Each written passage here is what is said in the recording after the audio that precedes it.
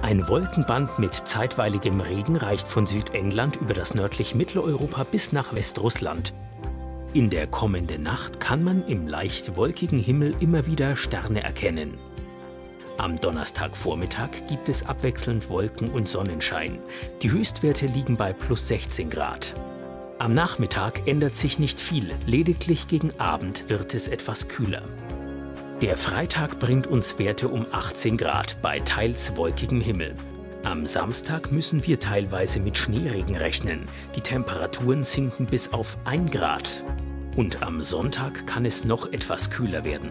Bei Temperaturen von minus 3 und plus 6 Grad zeigt sich der Himmel aber meist sonnig.